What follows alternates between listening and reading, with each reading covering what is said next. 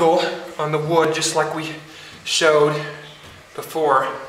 And um, you know, you really you can make these any size you want. You've got, you know, you've got a square. uh, Exactly. Square look, you know. You want to figure out what kind of an angle you want for your backrest, you know, because different people might like it back more with more pillows or steeper. And then after you figure that out, is uh, there's a there's a piece in here which you can't see because we have an arm on hmm. top.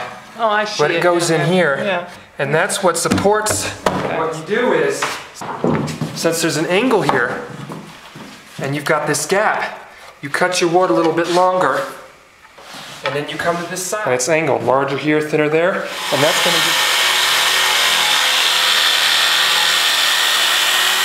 Our arm, we're basically just laying it out, and we're thinking about maybe doing a different design and just a round. Um, we're gonna go over some ideas of what kind of thing swirly or whatever on our arm.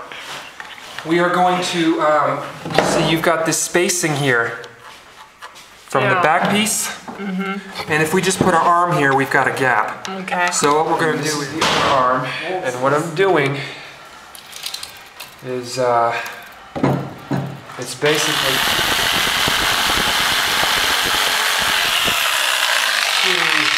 to cut out the block, you gotta, you know, you can't get your saw blade in there. So typically, you draw, uh, you You gonna be using drill a little hole. And I want one and three quarters inch to match that side.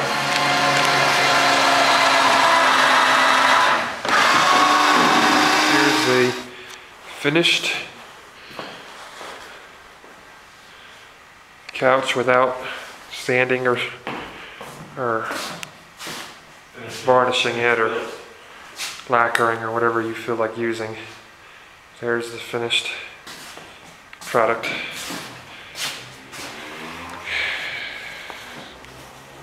With um, just a mattress and then some pillows.